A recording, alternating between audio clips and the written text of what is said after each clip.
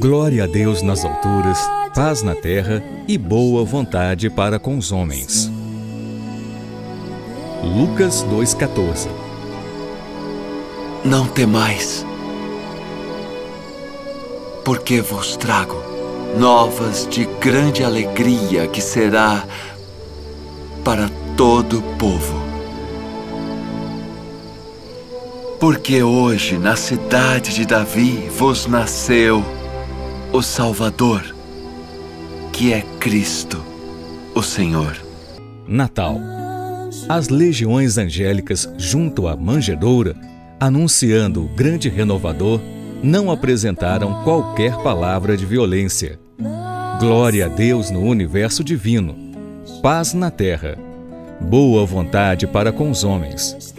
O Pai Supremo, legando a nova era de segurança e tranquilidade ao mundo, não declarava o embaixador celeste investido de poderes para ferir ou destruir, nem castigo ao rico avarento, nem punição ao pobre desesperado, nem desprezo aos fracos, nem condenação aos pecadores. Aquele que de entre vós está sem pecado, seja o primeiro que atire pedra contra ela. Nem hostilidade para com o fariseu orgulhoso, nem anátema contra o gentio inconsciente derramava-se o tesouro divino pelas mãos de Jesus para o serviço da boa vontade. A justiça do olho por olho e do dente por dente encontrara, enfim, o amor disposto à sublime renúncia até a cruz. Homens e animais assombrados ante a luz nascente na estrebaria assinalaram júbilo inexprimível.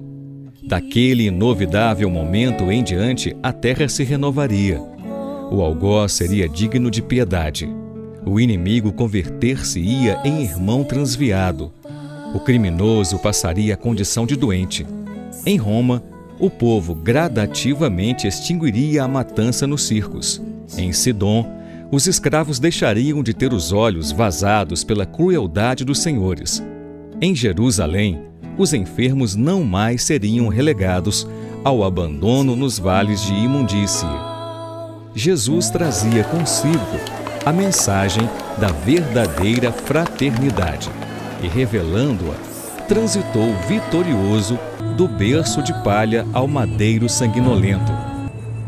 Pai, perdoa-lhes porque não sabem o que fazem. Irmão, que ouves no Natal os ecos suaves do cântico milagroso dos anjos, recorda que o Mestre veio até nós para que nos amemos uns aos outros. Natal, boa nova, boa vontade. Estendamos a simpatia para com todos e comecemos a viver realmente com Jesus sob os esplendores de um novo dia. Emmanuel, Psicografia de Francisco Cândido Xavier, livro Fonte Viva, lição 180. Mas vai para meus irmãos e dize-lhes que eu subo para meu Pai e vosso Pai meu Deus e vosso Deus. Uma homenagem da Web Rádio Fraternidade, a emissora do bem na internet. Juntos pelo Cristo.